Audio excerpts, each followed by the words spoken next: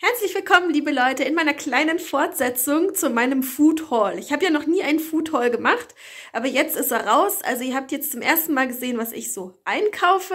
Ich habe ja auch schon ein paar Ernährungsvideos gemacht und äh, dieses Video soll jetzt eine kleine Ergänzung sein. Ich habe jetzt gerade den Food Haul veröffentlicht und zeige euch jetzt, was ich aus den Zutaten gekocht habe, die ich da letztens eingekauft habe. Ich habe es leider nicht geschafft, jeden Tag alle Mahlzeiten zu filmen. Das fand ich einfach ein bisschen zu schräg. Aber ich habe ähm, die ähm, Hauptmahlzeiten auf jeden Fall gefilmt. Ich habe auch einmal mein Frühstück gefilmt, so dass ihr jetzt sehen könnt im Großen und Ganzen, was ich daraus gekocht habe, aus den Nüssen, aus dem Fleisch, aus den Kartoffeln, aus dem Gemüse, aus allem, was ich da gekauft habe letztens. Also wenn ihr jetzt gerade neu reinschaut, dann schaut vielleicht eher zuerst den Food Hall an, also in welchen Läden ich war und was ich gekauft habe, weil das ist jetzt eigentlich nur die Fortsetzung davon. Aber wenn euch äh, gesunde Rezepte allgemein interessieren, dann seid ihr auch richtig in diesem Video. Video. Wir fangen gleich direkt an. Ich hatte ja gesagt, dass ich so viele Champignons gekauft habe. Drei Packungen waren das, glaube ich. Und daraus habe ich gleich am ersten Tag ein Gericht gezaubert. Und ähm, das war eine richtig, richtig schöne Champignonpfanne. Also schaut mal rein, wie ich die gemacht habe. Ja, als erstes habe ich Zwiebeln klein geschnitten, relativ vieles sogar, angebraten. Dann kamen die Champignons dazu. Ja, die dünstet man dann zusammen eine ganze Weile an. Derweil habe ich dann schon mal Kichererbsennudeln kochen lassen. Dann den Solo-Knoblauch geschnitten. Der kam dann da auch rein. Das Ganze weiter lecker köcheln lassen, anbraten lassen. Eine halbe Packung Frischkäse oder war es eine Dreiviertel, habe ich auch rein, damit es richtig schön sämig wird. Die Nudeln waren dann ganz schnell fertig. Köchel, Köchel, Köchel. Da gab es dann noch ein bisschen Sojasauce dazu. Natürlich kann man das Ganze dann mit Gewürzen abschmecken, wie man das so mag. Hat ja jeder einen anderen Geschmack. So weiter köcheln lassen, bis es dann so eine richtig schöne Soße gibt. Auf jeden Fall Petersilie obendrauf und einen leckeren Salat dazu, weil die Vitamine müssen ja auch sein. Ich finde es immer ganz wichtig, dass man noch Schnittlauch oder Petersilie oben drüber hat. Ja, und dann guten Appetit. Das war das erste Essen, was ich damit gekocht habe. Ein Frühstück ist eher unspektakulär. Einfach Linsenwaffel mit Frischkäse drauf und Knoblauch. Aus immer wieder anderen Zutaten backe ich mein Saatenbrot. Was immer reinkommt, ist Haferflocken, ähm, Leinsaat geschrotet, Sonnenblumenkerne manchmal und heute habe ich mal noch geraspelte Möhre mit rein und Sesam, den ich ja auch gerade gekauft habe. Aber andermal kommen auch Nüsse mit rein, dann lasse ich auch die Möhren weg, je nachdem natürlich noch Salz, kochendes Wasser und das war es dann schon. Und diese Masse, die äh, streiche ich dann immer auf dem Backpapier. Deswegen musste ich jetzt auch nochmal Backpapier kaufen, weil das ist natürlich äh, ja, jedes Mal dann ähm, durchgeweicht nach dem Backen. Muss ich jedes Mal neues nehmen. Aber das Brot wird ultra lecker. Das ist wie so ein Knäckebrot. Wenn das dann gebacken ist, nehme ich das vom Papier und röste das nochmal. Entweder auf dem Rost oder im Toaster. Also wichtig ist, dass man das halt ähm, nicht zu feucht, schön dünn hier auf dem Backblech verteilt. Und äh, ja, dann backt man das. Mehr muss da echt nicht rein. Salz, Saaten und Haferflocken ein paar, damit das klebt. Und ja, das ist auf jeden Fall ein ultra leckeres Rezept ohne Weizen. Und wenn es dann noch warm ist, dann wird es geschnitten auf dem Blech. Und ja, kann man essen wie Brot ist, aber kein wirkliches. Also es ist kein Weizenmehl drin, kein Roggenmehl und auch kein Dinkel. Also diese ganzen Mehle weglassen, das ist auf jeden Fall was, was ich jetzt entdeckt habe und was mir sehr gut tut, auch zum Abnehmen. Mmh, ist das lecker. Oh, scheinbar hat hier schon eine kleine Maus gefressen. Keine Ahnung, wer das war. Also das Brot ist fertig. Das mit den Möhren ist richtig lecker. Ähm, wenn man wenig Haferflocken dazu tut, so wie ich jetzt diesmal, dann klebt das Brot nicht so gut zusammen. Dann kann es passieren, dass das hier am Rand ein bisschen äh, zerbricht. Aber ansonsten einfach super lecker. Ich mache mir da Aufstriche drauf, ich mache mir da Frischkäse drauf. Das hält auch ein paar Tage. Das kann man auch einzeln dann nochmal im Toaster sich äh, warm machen, wenn man das morgens als Frühstück isst. Mega gesund, Leute, wegen der Leinsaat. Ne? Leinöl, Leinsaat ist total gesund, Ballaststoffe und so weiter und Sonnenblumenkerne sowieso. Und ja, einfach ein gesundes Frühstück, selbst gemacht. Hm, nom, nom, nom, nom. Brokkoli, den koche ich nur ganz kurz. Jetzt mache ich ihn schon wieder aus. gieße das Wasser ab und daraus machen wir heute einen ganz leckeren ja, Gemüsesalat, Gemüsenudelsalat. Ich habe nämlich noch Kichererbsennudeln von gestern. Und ja, die Kichererbsennudeln zusammen mit dem Brokkoli geben dann einen Salat. Ja, die Restebeilage ist dann jetzt heute ein Nudelsalat. Wie ich gerade schon gezeigt habe, den Brokkoli habe ich nur kurz gekocht.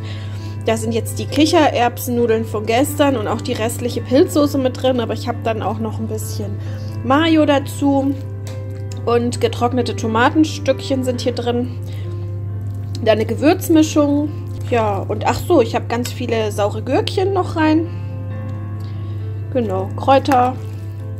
Und das ist jetzt halt ein ja, Reste-Nudelsalat. Ja, heute dann ziemlich unspektakulär. Einfach Hühnchenflügel, dieser Nudelsalat, den ich euch gerade gezeigt habe. Und ein paar Tomaten. Das ist unser heutiges Mahl.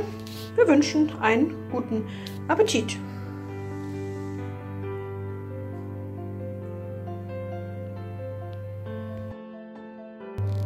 So, und weil wir jetzt alle irgendwie Bock auf was Süßes haben, draußen regnet habe ich jetzt beschlossen, dass ich noch sowas ähnliches wie Nussecken mache. Ich habe dafür auch gar kein Rezept. Ich habe jetzt einfach noch äh, ein bisschen Margarine gehabt. Normalerweise würde ich Butter nehmen, aber die Margarine hatte ich jetzt noch da. Ich glaube, die war auch aus dem Foodsharing. Ja, und da habe ich jetzt, äh, die habe ich jetzt geschmolzen. Dann habe ich Haferflocken dazu, bisschen Salz und Erythrit als Süßungsmittel. So, jetzt kommen da noch zwei Eier rein und Kokosmehl. Das ist ja, das ist ja so schön, weil wir die eigenen Eier aus von den eigenen Hühnern haben. Ja, da habe ich sozusagen den ganzen Winter immer zwei, drei Eier jeden Tag. Viel legen sie gerade nicht.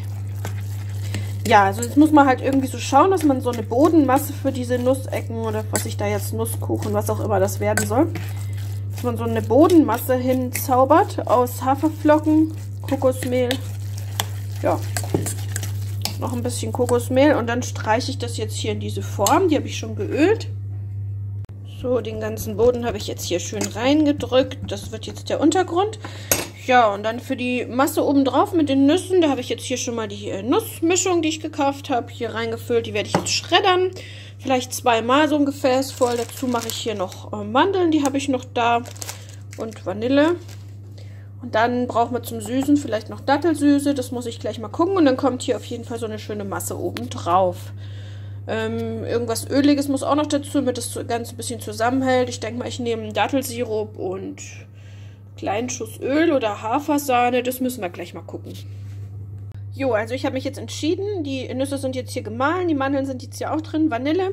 Dann habe ich jetzt allen Dattelsirup, den ich noch hatte, hier reingekippt und dazu noch Stevia Erythrit Pulver. Zum Süßen dann zwei Eier und einen kleinen Schuss Öl. So, das habe ich jetzt hier rein. Rühre ich das um, dann kommt das hier auf den Boden drauf und wird dann gebacken. Und dann schauen wir mal, was dabei rauskommt. Das ist jetzt wieder mal so ein selbst erfundenes Rezept. Einfach Nussecken selber machen aus dem, was da ist.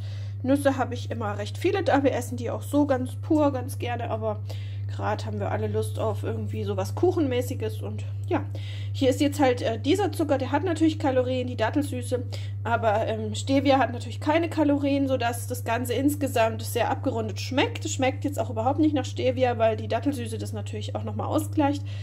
Ja, Kalorien hat es natürlich durch die Nüsse und so, aber eben halt keine schnellen also keine schnellen ähm, Kalorien, die jetzt so ganz schnell ins Blut gehen, sodass man ähm, einen hohen glykämischen Index hätte. Ne? So, also das ist jetzt eher ja, sehr vollwertig und sehr nahrhaft und hat bestimmt auch viele Kalorien, aber eben nicht so, dass man das ganz schnell ansteigenden Blutzuckerspiegel hätte. Das ist mir immer wichtig, dass die Sachen halt irgendwie langkettig sind und nicht kurzkettig. So, und jetzt bin ich dabei, das Ganze hier zu verteilen. Wen es interessiert, ich habe hier diesen Dattelsirup von Enerbio Rossmann genommen. Der ist jetzt gerade leer geworden, da war noch irgendwie so viel drin. Und weil das immer so schwer rausgeht am Ende, habe ich nochmal Wasser reingefüllt. Also ganz wenig Wasser, so vielleicht zwei Esslöffel. Und dann habe ich geschüttelt und das auch nochmal in die Nussmischung, Nussmischung rein. Ja, und jetzt ist die schön saftig hier. Lässt sich gut verteilen ja, kommt jetzt hier drauf und dann ab in den Backofen. Da backt jetzt gerade unser Abendessen, das heißt vorgeheizt ist der auch schon. Gleich tausche ich das, dann hole ich das Hühnchen raus und ja, dann geht der Kuchen rein. So ist das heute. Da muss man auch gleich ein bisschen gucken, dass man Energie spart. Ja, und dann heißt es jetzt erstmal Küche aufräumen. Dann bei der ganzen Kocherei habe ich natürlich ganz schön viel hier an Geschirr verbraucht.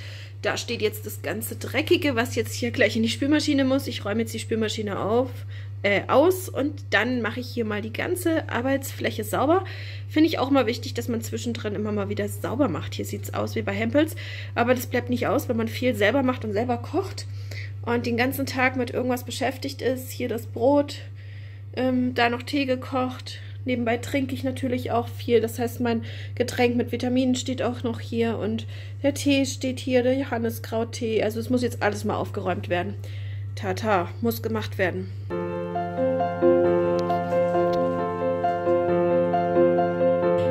Und jetzt zeige ich euch noch, wie ich diese leckere ähm, Schokocreme herstelle, also Nutella für Gesundheitsbewusste.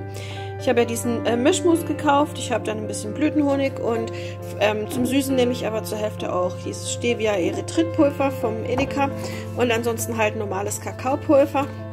Ganz normales, was man auch zum Backen nimmt.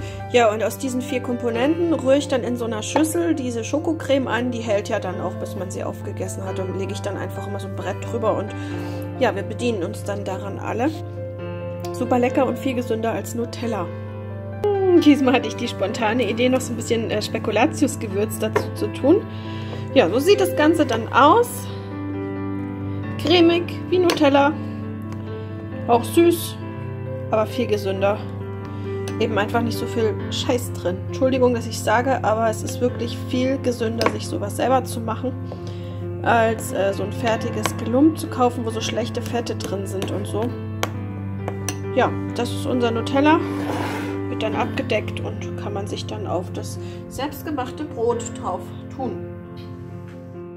Wow, lecker! Der Nusskuchen ist richtig gut geworden mal. Also der Boden ist äh, ja krümelig, aber der hält zusammen. Ja, und das ist äh, viel gesünder als die Nussecken vom Bäcker. Richtige Nüsse drin und der duftet nach Vanille. Hammer. Weil ich da so ein bisschen Vanille rein habe. Also sehr empfehlenswertes Rezept. Ihr habt ja gesehen, was ich reingetan habe.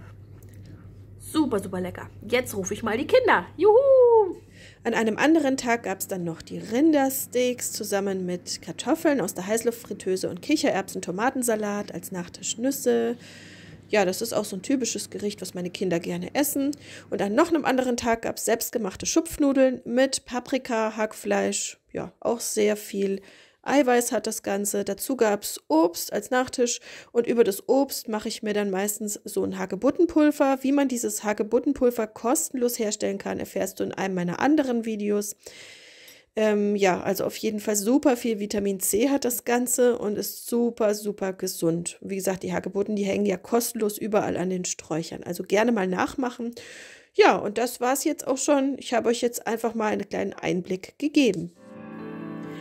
So, das war's mit meinem gesunden Kochvideo für heute. Ich hoffe, ihr schaut bald wieder rein. Vielleicht gibt es auch bald mal wieder ein Naturvideo draußen. Im Moment ist das Wetter da draußen ja ganz schön trüb, also viel mehr als kochen, Buch lesen und Musik machen kann ich gerade auch nicht. Deswegen mal wieder ein Video aus meiner Wohnung, die ich mir aber jetzt auch schon schön grün gestaltet habe, damit ich auch bei diesem Schmuddelwetter ein bisschen gemütlich habe. Ich wünsche euch eine gemütliche Novemberzeit, Leute. Viel Spaß beim Nachkochen. Wir sehen uns im nächsten Video. Schaut rein. Bis dann. Tschüss.